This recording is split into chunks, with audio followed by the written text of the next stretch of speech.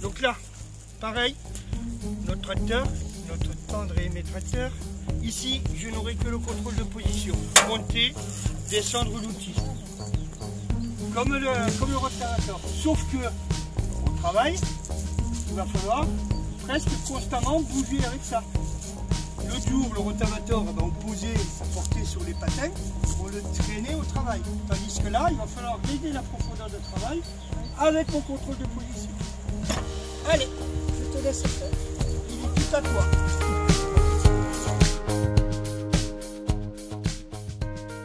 Je m'appelle Sylvie Tessier, je suis agricultrice en polyculture élevage et en agriculture biologique. Et j'habite à Tossac-la-Billière.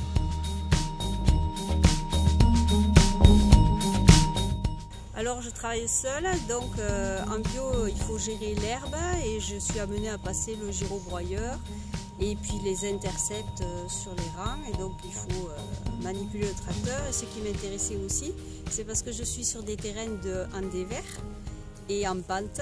Donc c'est surtout la sécurité que je recherche. Et là vraiment ce stage on a appris beaucoup de points sur la sécurité et ça m'a beaucoup rassurée.